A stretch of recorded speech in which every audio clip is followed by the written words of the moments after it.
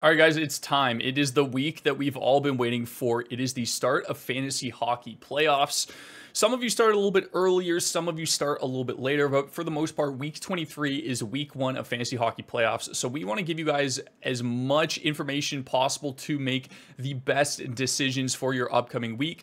We are going to be covering the best streamers, we are going to be covering the best schedules, we are going to be covering the best add and drop strategies in this video to ensure that you guys have the everything available to you to be successful in your week one of fantasy hockey playoffs. Quick note, remember guys, it doesn't necessarily mean that you have to stream somebody just because you have players that are on a bad schedule. Like if I have Nikita Kucherov, for example, and he plays three games and they're all, you know, busy nights, I'm not dropping Nikita Kucherov just to play some random guy from waivers for five games. Like be critical of your team, understand who is untouchable and who you are actually able to drop and get away with dropping. With that being said, let's kick off the video, guys. Here is your week 23 preview.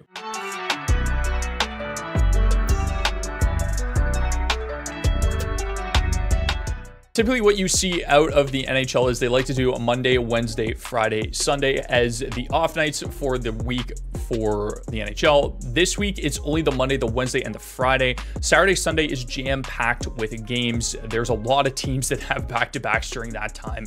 Um, so we want to be conscious of that, that we're not necessarily streaming somebody that per se has an off night on the Sunday because it's technically not even an off night if you look at the schedule and the amount of games. I think there's like 11 on Saturday and 10 on Sunday. So it's just as busy as we see the Saturday normally is. But starting things off, the Washington Capitals, they play four games, three of which are off nights. They get the Monday, the Wednesday, the Friday, and the Sunday. So they are going to be your primary source of streamer players for this upcoming week because they are the only team that gets three off nights. Seattle has a pretty peculiar week. They kind of split. They go like off night on the Monday, back to like two busy nights, then to to an or a busy night, then an off night, then a busy night again. So they kind of alternate. So it's tough to kind of mix them into your your add and drop kind of scheme to to ensure that you have the most games and the most off nights possible. Buffalo, Carolina, Toronto all play four games and have one off night. So they're honestly like not a bad option as well. And then I also threw in Dallas and Arizona for a couple reasons that I'll go over in a little bit, but they only play three games, but they do have two off nights. So that could be really beneficial for some players if you have multiple ads. Looking at our worst schedule, again, it is the Tuesday, the Thursday, and then the Saturday and the Sunday. Three games, zero off nights for these 12 teams. This is an, again, this is a good thing, guys. Like whenever you see a, a schedule in playoffs where the worst schedule is only three games. There isn't a single team that plays two games. This is a good thing. That means if you built your team the way that you wanted to and you're being successful and you're seeing a good performance from your players, you want them to play as much as possible. And you're not going to have a circumstance where, you know, you only have uh, Sidney Crosby playing two games or you only have Connor McDavid playing two games. So this is pretty ideal that, you know, you're at least getting three games out of all of your players throughout the week. Moving on to your best add and drop schedule. So the first way to go about it, I, I, I know this looks kind of jank right now, but bear with me. I'll kind of work my way through it the number one thing that you want to do is start with an ad at the beginning of the week. There's two ways that you can go about this. Your first ad is either going to be a Washington Capital or a Buffalo Sabre. Let's let's just start with Washington, for example. Because they have three off nights, the Monday, the Wednesday, and the Friday, you're going to add a Washington Capital at the beginning of your week, hold him until the 22nd, then you're going to drop and pick up one of these nine teams on the right for March 23rd and 24th. The reason is because all of these teams play a back to back on Saturday and Sunday. That means that you are getting five possible games through this schedule and three off nights with your Washington player. Alternatively, your other option is to pick up a Buffalo Sabres player because they have a back to back on the Monday and the Tuesday. You're going to get two games out of them to start your week, and then you can transition to a Caps player, a uh, Arizona player, or a Dallas player because during the March 22nd and March or March 20th and March 22nd, they both have an off night uh, for both those games. So you're still technically getting five games from this schedule and you're getting three off nights as well. It's just a different combination of players. You still end up with three off nights and two busy nights. But that is primarily the best possible schedule for you to get the maximum amount of games played and maximum amount of off nights for the week. Now, moving on to our streamers. These are my main forward streamers. These are the guys that I am looking to get on my team immediately. And Starting things off, Dylan Strome of uh, the Washington Capitals has been absolutely lights out. I'm still mind boggled that this guy is not over 60% owned. He's been unbelievable. He continues to be good production wise, shot volume. He'll chip in, uh, you know, hits and blocks here and there as well. He's just so good. They recently took him off line one uh, but I really don't think that has stalled his production at all. Even though he's not playing with Ovi, he is still power play one with Ovi, so he's finding production there as well. He's just my number one target for the entire week, given the schedule and the fact that he's been lights out. Oliver Bjorkstrand of the Seattle Kraken. Again, remember how I mentioned that Seattle's difficult to kind of, uh, even though they have two off nights, you can't like do something with what you can with Washington, where you can pick up a player, have him for three games, drop him, and pick up uh, two guys on the weekend that have a back-to-back because he kind of alternates in terms of his off nights and his busy nights. But again, Bjorkstrand has been great. He scores a ton, he shoots a ton, he chips in and hits, a couple blocks here and there as well. I think he's a really, really good option. He's playing consistent minutes in Seattle, 29% owned line two and power play two. Um, nothing wrong with that. I think he's a really, really good option. You get him for two off nights if you don't like anybody on Washington or you can't get to a guy like Dylan Strome. TJ Oshie recently came back off of injury. I'm a little bit hesitant about him. Obviously, like I would much rather a guy like Dylan Strome who's a little bit safer, but Oshie is playing line one and power play one alongside Ovechkin. They recently uh, have started playing Connor McMichael on that top line with Ovi, who I will talk about in the next slide. But Oshie's been very solid before he had this little injury issue uh, over the past couple games. Uh, he was on an absolute tear. He was very, very good in, in, terms of point production. He's usually a great categories player where he'll get you a couple shots, a couple hits, and a couple blocks almost every single game. If you count faceoffs, even better. He chips in in those as well. But again, a little bit of a lower ownership player that most of you will be able to get to that I think still has some upside playing line one and power play one. Um, again, really, really good option for you guys that are in deeper leagues. I would highly recommend Oshie. And then Teuvo Teravainen did not travel to Toronto this weekend.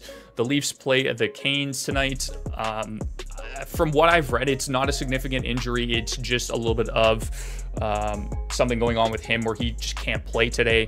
Uh, so I wouldn't be too worried about it. I would monitor that situation. The thing with Carolina is it's a very top heavy team. So it's tough to kind of get some of their higher end players when you're a streamer. Uh, but if you're in a more shallow league, I think Teravainen should be good to go. Uh, just keep an eye on that on your on Sunday night and see if he's available or not. Um, chances are, again, he's going to be a little bit more difficult to get to, but he's been lights out recently as well in terms of production, playing line one, power play two. Uh, just a fantastic ad, in my opinion, for this week. You get him for four games, even though it's one off night.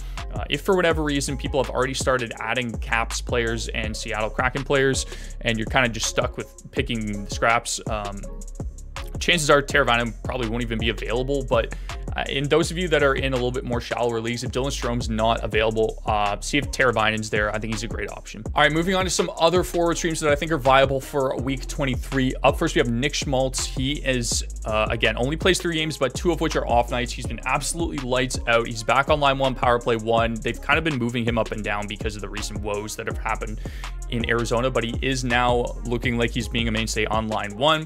Center right wing eligible. We know how scarce right wing is as a position. 28% owned should be readily available to you guys. You get a line one power play one player who has been producing really, really well recently. Uh, gets you shots, uh, chips and hits, chips and blocks uh, every once in a while. He's not as great in terms of those peripheral stats, but the production and the power play points is definitely what set him apart from uh, basically everybody else on this list. So highly recommend Schmaltz if you can get to him. If you're doing that kind of Buffalo strategy that I mentioned earlier, uh, and you need to you know transition off of a, a Sabres player.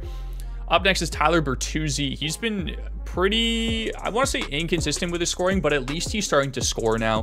Four games, one off nights for the Leafs. You can do, essentially do the same thing that you can with Buffalo, where you essentially have uh, an early start player that you want to grab onto your team like Bertuzzi. He has been playing line two. Um, him and Nylander have seemed to have found a lot of chemistry recently, and he's playing power play one and being very successful in that as well. So he's kind of started to heat up a little bit. I would look at him just because he's got four games and one off night if you need a player. Yanni Gourde, again, just because of the schedule, you get him for two off nights and two busy nights. Line two, power play two, very, very consistent in terms of his minutes. I know a lot of people on the Seattle Kraken are kind of like inconsistent in terms of, you know, sometimes they play 15 minutes a night, sometimes they play 18. Gourde's been very, very consistent. He's playing a very solid role in that team. He touches every single category that you want out of him uh, shots, hits, blocks, face offs, if you count those. And he's been pretty solid in terms of his production as well. And if you're in a deeper league, I think he's one of the best options available to you. It was between Peterka and Zach Benson for me. Uh, both have been solid. Benson's gotten really hot over the last couple games, but he's a little bit more inconsistent in terms of those peripheral stats. So I decided to go with Peterka, who's a little bit more consistent in terms of his shot volume, his hits, and his blocks. Again, a lower ownership option for you guys if you need a player that plays four games uh, throughout this week. And then Connor McMichael, again, playing line one with Alex Ovechkin. If you're in a deeper league, I think this guy holds some upside. He's going to be playing top six minutes in Washington. Three off nights. Again, one of the best schedules, if not the best schedule for the week nothing but upside here with Connor McMichael. Even though he's 2% owned, he's very inconsistent in terms of his production and his uh, peripheral stats. But again, there is upside there if you're in a super, super deep league and you want to stream one of the better available players for you guys. When it comes to defensemen, again, there isn't a lot. I think Bowen Byram is the number one option if you have anybody available, regardless of schedule. He has been absolutely lights out since he's joined the Buffalo Sabres. Um, currently around a point a game. He's shooting, he's hitting, he's chipping in some blocks here and there. He's playing a ton of minutes. He's pair one and power play one. They've decided to run him and Dahlin on power play one alongside Tage, um, Skinner, and I believe it's Tuch on that line also. Adam Larsson, again, really, really good peripherals option. You get shots, you get hits, you get blocks out of him. Uh, isn't really great in terms of scoring, but again, given the schedule, if you need a peripherals D, I think that's a good option for you guys. Rasmus Sandin is somebody that I wasn't really sure I was even going to include on here, but because of the schedule, I think there is a little bit of upside. Pair two, power play two. Again, if you need a defenseman stream, if one of your guys goes down, if you're just trying to get max amount of games out of a player this week, I think Sandin's a good option. He kind of is, is, inconsistent with those peripheral stats. He'll chip in shots, hits, and blocks here and there. His scoring has been relatively inconsistent, but I think given the schedule, I think that's fine. Um, there is upside still playing on pair two and power play two. If you go look at his game log, he's been, you know, he's been all right for a 14% owned defenseman. Uh, Jaccob Slavin, 31% owned pair one and power play two. This one is just again a, a, solid defenseman that you can rely on to get you some some stats here and there, a couple shots, couple hits, couple blocks type thing. Um, probably a little bit lighter on the hits for Slavin, but again, four games and one off night, 31% owned should be readily available to most people. If you can't, if you can't get to like a Byram or a Larsson, honestly, Martin Fehervary could be the best option out of all these defensemen. I'd say outside of Bowen Byram, um, just because of how good he is when it comes to hits. Uh, if you count hits in your league, this guy's an absolute banger's gem. He just came off of IR. I'd highly recommend grabbing him. If you don't have him available, or if you don't count hits in your league, for example, you probably want to look somewhere else. But again, the D streams are very, very slim as of usual at this point in the season, guys. Uh, so I apologize if I'm not giving you guys any tier one recommendations. But again, if Bowen Byram's available, he should be added on your team immediately if you can. And then if you're looking for a D stream, I think any four of these options are solid. They're not going to be the best options, obviously, because they're waiver players, but they should be solid given their schedule and given the fact that some of them have really good floors. And finally, guys, our goaltending, there is a lot of good options just simply because of the fact that there is a back-to-back -back for almost every single team on the Sunday. But starting us off, we have Philip Grubauer. He started to become more of the starter as of late.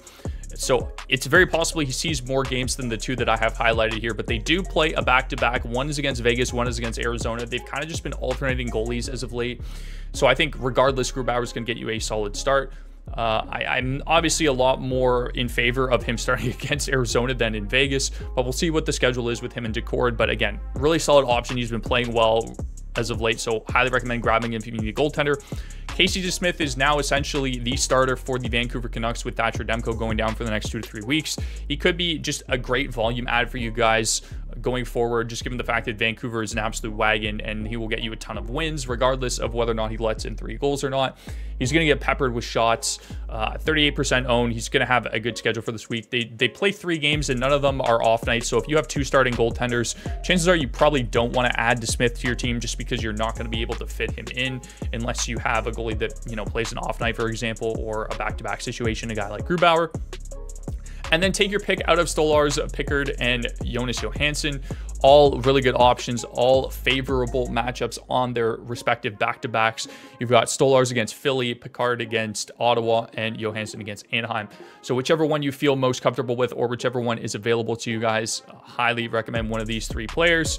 Um, I can't think of anything else uh, other than that. So goalie's really, really good option for this week. That is going to do it for this video, guys. Thank you so much for watching. Leave a like and hit that subscribe button if you enjoyed. I tried to give you guys the most amount of detail possible for this upcoming week. Good luck in your fantasy hockey matchups. I will see you in the next video. Have yourselves a fantastic rest of the day.